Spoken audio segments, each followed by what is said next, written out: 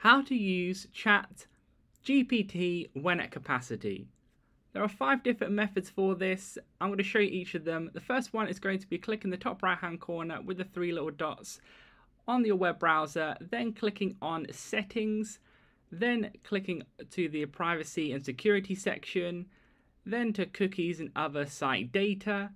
Then it's going to be scrolling down on this part here until you see seals, data and permissions. Click on there.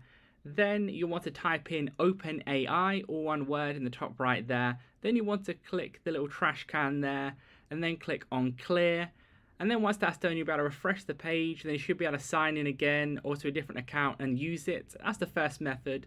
The second method is by go, going onto a different web browser. You will need to sign in for a different account on this, so either create a new account or sign into like an existing Google account, etc. The third method is by VPN, so either turning off or turning on a VPN. So depending on what you have right now, that could be one of the ways of changing this. The fourth one is by using a completely different device. So let's say, for instance, you're using one laptop, use another one, sign in with a different account. And again, that's going to be the main thing. That's going to be uh, changing it as well. You should be able to use it on a different account.